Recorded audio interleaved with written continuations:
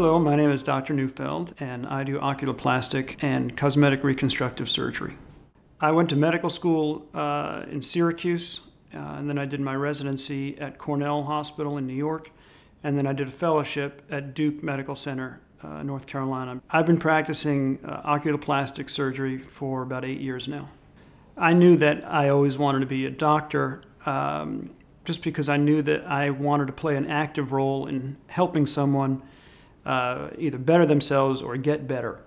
I do things ranging from repairing droopy eyelids, uh, facial trauma, fractures, lacerations, skin cancers around the eyelids and around the face, tumors that can happen around the eyes or even behind the eyes, as well as cosmetic uh, rejuvenation procedures that involve things like Botox or fillers or fat transplantation.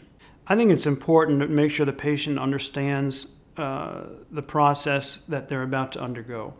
Uh, I try and explain uh, the details of the surgery, uh, what they can expect ahead of time, and also at, more particularly after the surgery, uh, so that there's no surprises. I don't like any surprises during surgery, and I don't like the patient to have any surprises after the surgery. So I think it's important to really make sure that everyone's on the same page in terms of their expectations of what's going to happen, how it's going to be, and what's involved in the aftercare. Patients often express concerns to me about how they don't feel on the inside, how they look on the outside.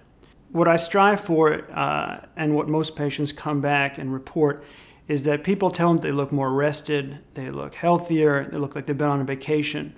Uh, and to me, that's a sign of success because this is we've accomplished the goal of keeping the patient look natural, uh, look like themselves, just sort of a healthier, uh, improved version of themselves. They feel more comfortable. Uh, their eyes feel better. They don't bother them. Uh, and I think it just overall improves their mood and their daily activities.